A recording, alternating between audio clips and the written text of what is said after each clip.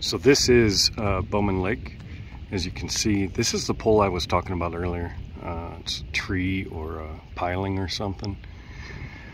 It's probably further than I thought. It's probably 15 feet, 20 feet out of the water right now. Um, once you got up close, you could kind of tell. But this is Bowman Lake, and it extends out that way quite a ways. Uh, probably four or five times uh, the distance that I have right here in this little bay that I'm in. This bay that I'm in is right next to the campground, which is why I'm here. Over there, it looks like there used to be a boat ramp, but I don't know how you get to that side of the lake. It doesn't look like it's usable right now. So I found this little uh, inlet that goes from the main lake back into a, a little area. And what's cool about this area is I found, let me try and turn around here with one hand. I found an inflatable paddleboard. I don't know if it's somebody's or if it drifted away. Um, we'll come back and check on it later tonight. And uh, if nobody's picked it up and used it, um, I'll probably tow it back to the other beach. And then uh, if nobody comes and claims it, I'll leave it up at the campsite overnight or whatever. But if nobody comes and claims it, then we'll take it home and uh, I'll give it to my buddy Josh because he doesn't have one. Uh, Tom and, and I both have them. Uh, David does not have one either. Uh, so Josh and Tom are supposed to be on their way out. So tonight we'll have some guests at the campsite. Pretty neat little area. There's water flowing in. I don't know where it's coming from. Uh, but last time we were here, I didn't I didn't even see this inlet. It would be cool to travel back as far as you can get.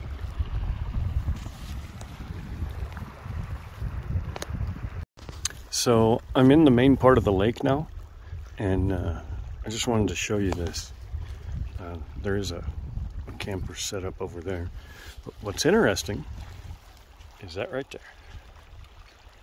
That is an old boat dock or a, a, a boat ramp, I think and it's obviously not been used for quite some time because those trees have all grown in over the road.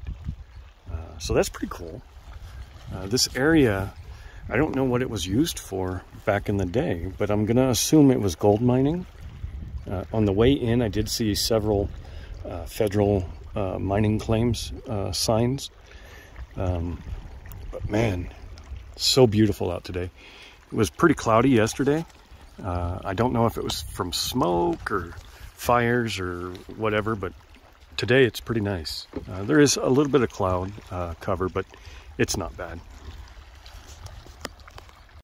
It's starting to get a little bit windy out here, but I wanted to show you I've moved up uh, to about the middle of the lake, I think. Uh, there's an island right there. It doesn't look like it's much of an island right now. It looks like there is a, a land bridge going over to the other side of the, the lake. Uh, in the far distance out there, you can see um, you can see the dam.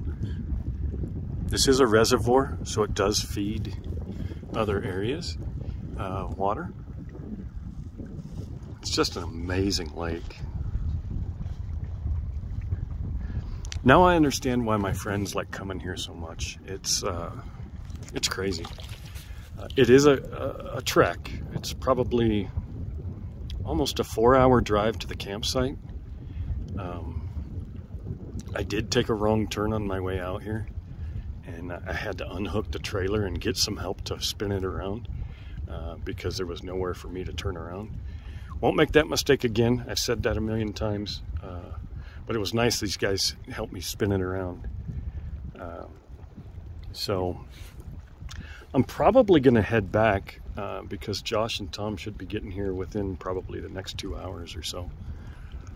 And uh, probably cook up some lunch and then uh, have dinner tonight. They'll probably want to get on the lake. Um, Josh doesn't have a kayak or a paddleboard, so I'll let him borrow the kayak or the paddleboard, whichever. But, anyways, this is Bowman Lake.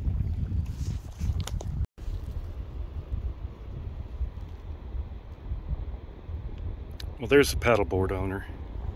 He uh, just showed up. He's heading towards uh, the boat dock, the boat ramp, I should say. So we won't be getting that one, which is fine. Uh, I'd rather he have it and get his way out of there. Um, anyways, I think I'm gonna take the kayak in and be done for the day, unless the guys want to go.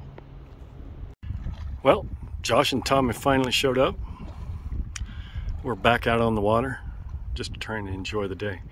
Josh is using Honey's uh, paddleboard, and Tom has one of his own. We're gonna try and make it out to the island out there that we saw earlier. Just kind of enjoy the day. Not sure if David's coming or not. Last message I got, he was asking if we were still out here, so don't know. We'll update you more when we have some information. Okay, I think earlier I was saying that the island had a land bridge that went all the way across. I'm at the island now. There's no land bridge. Uh, probably 150 feet across to the other side. Oh, yeah, This is how we roll. They've got a hammock that they're using to pull us through. I'm hooked to their uh, their leashes, and uh, yeah, we work for Elon Musk at Tesla. I'm uh, basically like engineering for SpaceX right now. Yeah. We're going pretty fast. This is the future. We're all moving up in the world. Fucking hammocks, paddle boards, and a kayak. This is the kind of shit we do, though. Yeah, buddy. Yeah. We actually made it out to what we thought was the island, but oh, let me do my job.